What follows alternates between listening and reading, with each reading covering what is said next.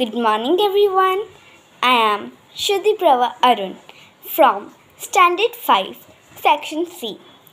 Today, I am here to tell a story of Who is Happy? Peacock or Crow? Once a crow looked at the swan and said, How beautiful the swan is! She had all white feathers, whereas the crow was black. The crow expressed his thoughts to the swan. The swan said, According to me, the parrot is the most beautiful bird, as it has two colors, but I have only one. The crow approached to the parrot. The parrot said, Peacock is more beautiful than me, as it is multicolored.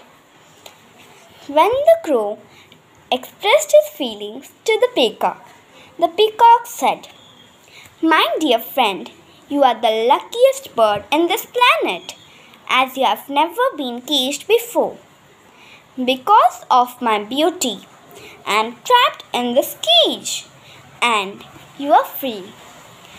On hearing this, the crow thought how foolish I had been, and thanked God for making him how he was. Moral Never compare yourself to others. Be happy on what you are and what you have.